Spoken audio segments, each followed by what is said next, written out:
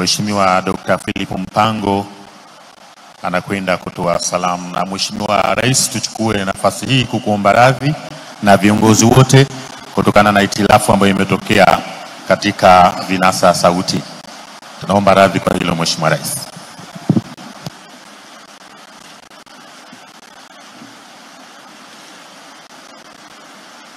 Mheshimiwa Samia Suluhu Hassan, Rais wa Jamhuri ya Muungano wa Tanzania, Mheshimiwa Mama Janet Magufuli,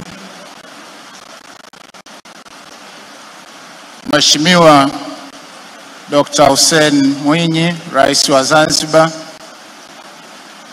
Mheshimiwa Profesa Ibrahim Hamisi Juma, Jaji Mkuu wa Tanzania, Mheshimiwa Dr. Tulia Ackson, Spika wa Bunge la Jamhuri ya Muungano wa Tanzania, Mwadhama Baba Askofu Kasala, viongozi wote wa serikali, viongozi wa dini mlioko hapa. Tumsifu Yesu Kristo. Bwana Yesu asifiwe. Assalamu alaikum.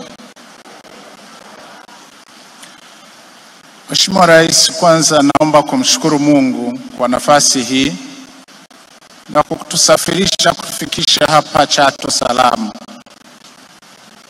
na kwa namna ya pekee napenda kumshukuru Mama Janet Magufuli na familia nzima ya Magufuli kwa kutualika kushiriki nao katika ibada hii ya kumkumbuka kiongozi wetu hayati Dr. John Pombe Joseph Magufuli.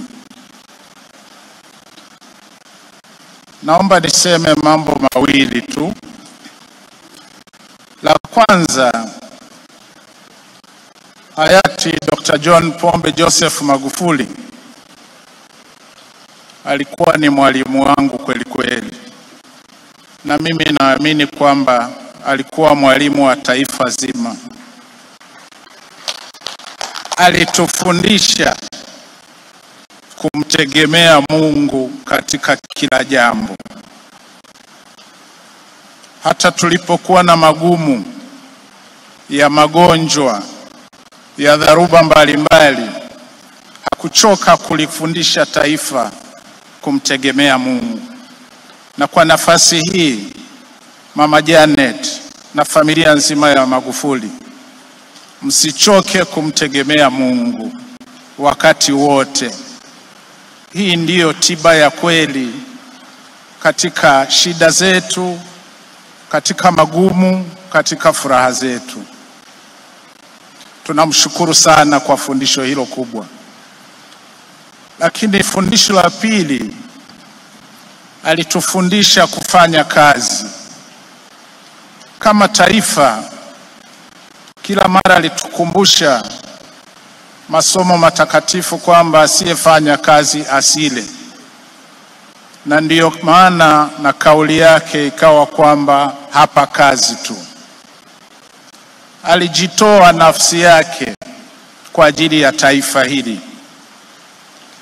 Alisema mara nyingi kwamba amejitoa sadaka.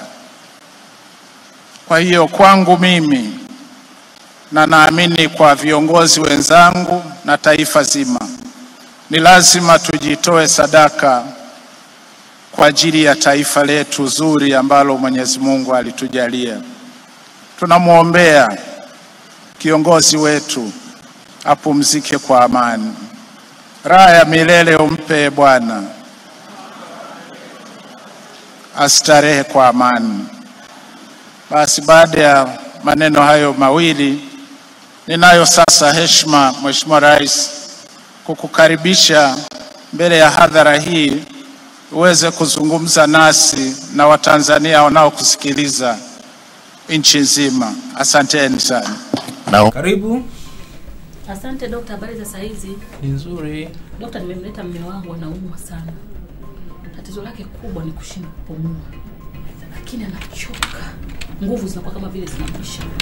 Tunasumbuka dokta, nimeona nimlete hapa hospitali ili muweze kutusaidia. Pole sana dadangu, naomba tuchukue vipimo tujue anasumbuliwa na nini. Ah, pole kwa kusubiri dadangu.